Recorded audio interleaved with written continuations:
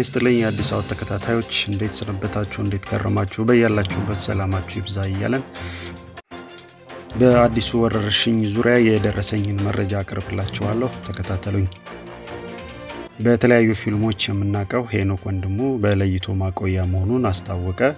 ሄኖክ እንደተናገረውም ዛሬ ሰባተኛ ቀኑ ሲሆን በስራ ምክንያት ዱባይ ደርሶ ሲመለስ መንግስት ባወጣው አዲስ ሕግ መሰረት ማንም ሰው ከውጭ ሀገር ሲመለስ 14 ቀናቶች በለይቶ ማቆያ መቆየት ግዴታው ስለሆነ ሄኖክም ይህንን እያደረገ ይገኛል።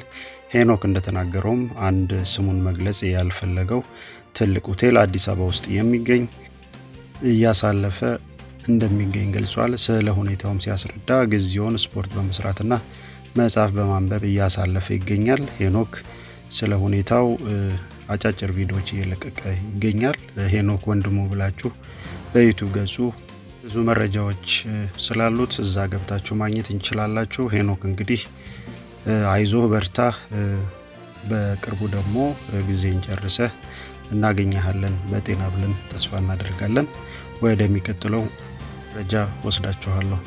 የኢትዮጵያ የሕብረተሰብ ጤና ኢንስቲትዩት ይህ መረጃ እስከተዘጋጀበት ሰዓት ድረስ በአጠቃላይ 1013 የላቦራቶሪ ምርመራ ያደረገ ሲሆን ባለፉት 24 ሰዓት ውስጥ 66 የላቦራቶሪ ምርመራ አካሂዶ በኮሮና የተያዙ ተጨማሪ ሶስት ሰዎች መኖራቸውን አረጋግጧል።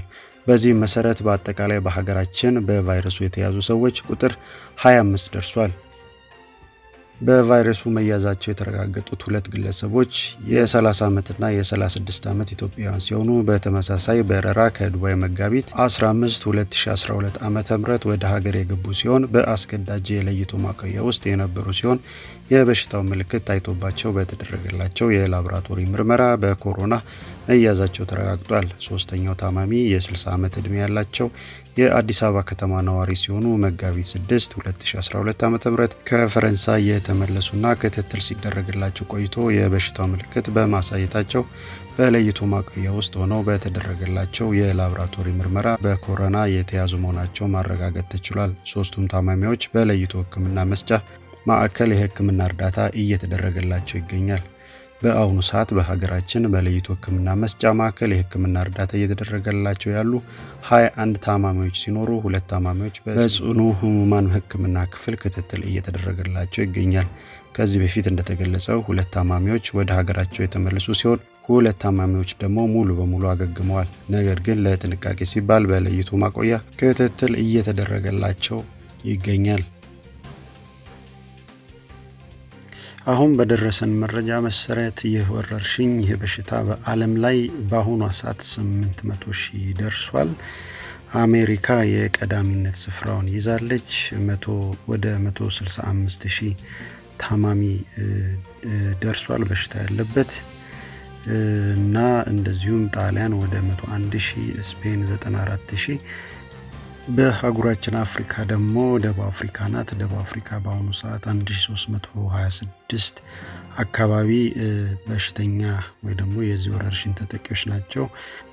በግብፅ እንደዚሁ ቁጥሩ ጨምሯል፣ 656 አካባቢ ደርሷል። ወደሚቀጥለው መረጃ ወስዳችኋለሁ።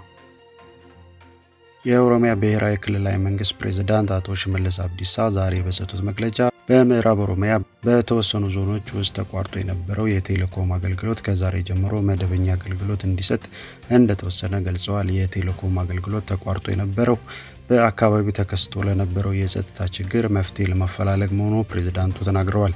የሕግ የበላይነትን ለማስከበር በተሰራው ስራ በምዕራብ ኦሮሚያ ቆሞ የነበሩት ፕሮጀክቶች እና ትምህርት ቤቶች ወደ ስራ መመለሳቸውን የገለጹት ፕሬዝዳንቱ የዜጎች ሰላም እንዲረጋገጥ መደረጉንም ተናግረዋል። የኮሮና ስርጭትን ለመከላከል የክልሉ መንግስት ከፍተኛ ትኩረት ሰጥቶ እየተሰራበት መሆኑን ገልጸዋል። የሶማሌ ክልል መንግስት ኮማንድ ፖስት ውሳኔ አስተላለፈ። አገር አቀፍ በኮሮና የተያዙ ሰዎች 25 መድረሱን ተከትሎ ዛሬ ማምሻ ላይ በሶማሌ ክልል የተቋቋመው ኮማንድ ፖስት ውሳኔ አስተላልፏል።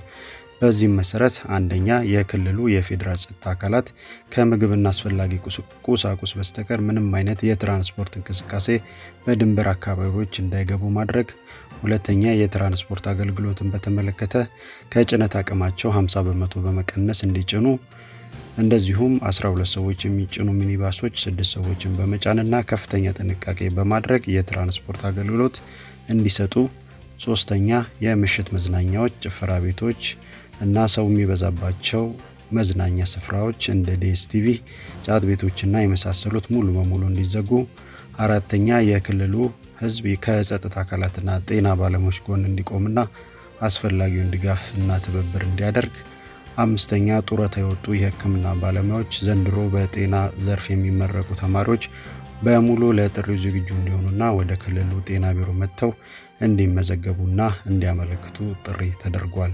የኮሮናን ስርጭት ለመግታት በሚደረገው ጥረት በአገሪቱ የሚገኙ የተለያዩ ዩኒቨርሲቲዎች ሳኒታይዘር ማምረት ጀምረዋል። ከእነዚህም መካከል ባህር ዳር ዩኒቨርሲቲ፣ ወሎ ዩኒቨርሲቲ፣ ሐዋሳ ዩኒቨርሲቲ እና ወለጋ ዩኒቨርሲቲዎች ተጠቃሽ ናቸው። ከእነዚህም መካከል ባህር ዳር ዩኒቨርሲቲ፣ ወሎ ዩኒቨርሲቲ፣ ሐዋሳ ዩኒቨርሲቲ፣ ወለጋ ዩኒቨርሲቲ፣ ወልቂጤ ዩኒቨርሲቲ ተጠቃሽ ሆነዋል። ከዚህም በተጨማሪ ባህር ዳርና ወልቂጤ ዩኒቨርሲቲ ከእጅ ንክኪ ነጻ የሆኑ የእጅ መታጠቢያ እያመረቱ እንደሆነም ገልጸዋል። በቅርቡ ደግሞ ሳኒታይዘር ማምረት እንቅስቃሴውን መቀላቀሉን ያስታወቀው መቀሌ ዩኒቨርሲቲ ነው። የዩኒቨርሲቲው ፕሬዝዳንት ፕሮፌሰር ክንዲያ በትዊተር ገጻቸው ላይ እንዳጋሩት የመቀሌ ዩኒቨርሲቲ የኬሚስትሪ ትምህርት ክፍል ሳኒታይዘር ማምረቱን ይቀጥላል ብለዋል። ከወደ ህንድ የተሰማ ደግሞ አንድ አነጋጋሪ መረጃ አለ። እሱን እስቲ ልንገራችሁ። ህንድ ውስጥ ከሌላ አካባቢ የመጡ ሰዎች ላይ ጸረ ተዋሲያን መረጨቱን ቁጣ እንቀሰቀሰ ይላል።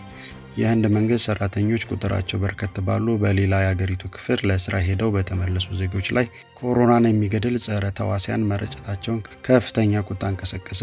የአገሪቱ መንግስት የአካባቢው ባለስልጣናት የወሰዱት እርምጃን በተመለከተ ምርመራ ጀምር ያለው ብሏል። የኬሚካል ርጭት የተደረገባቸው ሰዎች ህንድ ያስተላለፈችውን ሙሉ ለሙሉ የእንቅስቃሴ መገደብ ትዕዛዝን ተከትሎ ከሰሜናዊ የአገሪቷ ክፍል ወደ ቀያቸው የተመለሱ ናቸው ተብሏል። የአካባቢው ባለስልጣናትም ተመላሽ ቫይረሱን ይዘው ሊመለሱ ይችላሉ በማለት ጸረ ተዋሲያን እንዲረጭባቸው የተደረገ ሲሆን ድርጊቱም በርካቶችን አስቆጥቷል። የህንድ ዜጎች ከውጭ ሀገራት ወደ ህንድ ሲገቡ በተመሳሳይ መልኩ የኬሚካል ርጭት ተካሂዶባቸዋል ወይ የሚል ጥያቄም እንደፈጠረ ተነግሯል። እንግዲህ እኛ ሀገር እንዳያችሁት እሁድ ዕለት አዲስ አበባ ላይ እንደዚህ በስፋት ተራይቶ ነበር በመኪና ግን ሰው ላይ አይደለም የተረጨው አስፋልት ላይ እና እንደዚሁም አስፋልቱ ዳር የሚገኙት ብረቶች ላይ ነው። ዛሬ ደግሞ ቀጥሎ አዳማና አዋሳ በተመሳሳይ መልኩ እየተረጨ ይገኛል። ነገር ግን ህንድ ሀገር የተደረገው ደግሞ ሰዎች ላይ ነው። ሰዎች ላይ መርጨት ደግሞ ምን አይነት ጉዳት ያለው የሚለው በጣም አነጋጋሪ ሆኗል። እንደዚሁም በማህበራዊ ገጽ ቪዲዮ እየተዘዋወረ ይገኛል። በጣም አሳፋሪና አሳዛኝ ድርጊት እንደሆነ የተለያዩ ሚዲያዎች እየተናገሩ ይገኛል። ሌላው የእስራኤሉ ጠቅላይ ሚኒስትር ቤንያሚን ኔታንያሁ ከኮሮና ነፃ መሆናቸውን በምርመራ ተረጋገጠ ይላል። ቀደም ሲል የጠቅላይ ሚኒስትሩ ኔታንያሁ አማካሪ የሆኑ በቫይረሱ መያዛቸው መረጋገጡን ተከትሎ ጠቅላይ ሚኒስትሩ ወደ ለይቶ ማቆያ መግባታቸው ይታወሳል። የጠቅላይ ሚኒስትሩ ጽህፈት ቤት እንዳለው ኔታንያሁ ወደ ለይቶ ማቆያ የገቡት ከሌሎች የቅርብ አማካሪዎች ጋር እንደሆነ አስታውቀው ነበር። አሁን ግን የእስራኤሉ ጠቅላይ ሚኒስትር የምርመራ ውጤታቸው ከቫይረሱ ነፃ መሆናቸውን እንዳመለከተ በትዊተር ገጻቸው ላይ ራሳቸው አስታውቀዋል ይላሉ። እንደዚሁም የጀርመኗ ቻንስለር አንግላ ሜርኬል ለሶስተኛ ጊዜ ተመርምረዋል ማለት ነው። ሁለትም ጊዜ ሲመረመሩ negative ነበሩ። ነገር ግን ያንን ባለማመን እንደገና ዛሬ ተመርምረው ሶስተኛም ጊዜ negative እንደሆኑ ሰምተናል። ነገር ግን እሳቸው አሁንም ወደ ለይቶ ማቆያ እንዳመሩ ተዘግቧል ማለት ነው። ጠቅላይ ሚኒስትር ዶክተር አብይ አህመድ ተመርምረዋል አልተመረመሩም አላቅም። ነገር ግን ያው እንደሚታወቀው የበሽታ በጣም አደገኛ ስለሆነ ቢመረመሩና ውጤታቸውን ለሕዝቡ ይፋ ቢያደርጉ በጣም አሪፍ ነው ብዬ አስባለሁ። በባለፈው የዩናይትድ ኪንግደም ጠቅላይ ሚኒስትር ቦሪስ ጆንሰን ጨምሮ ሌሎች ታላላቅ የሀገር መሪዎች ቫይረሱ ተገኝቶባቸው በምርመራ አረጋግጠው ራሳቸውን ለይተው ስለሚገኙ ጠቅላይ ሚኒስትሮች ደግሞ መሪዎች ደግሞ ከብዙ ሀገር ጋር ከብዙ ሰዎች ጋር ስለሚገናኙ ለዚህ በሽታ ተጋላጮች ናቸው። እንግዲህ ለሰዓቱ የነበረን የደረሰን መረጃ የነበረ አዲስ አውቶች ነን። share፣ subscribe፣ like አድርጉን። በያላችሁበት መልካሙን ሁሉ እመኛለሁኝ። ያላችሁን ሀሳብ comment በማድረግ ግለጹልን። እናመሰግናለን። መልካም ውሎ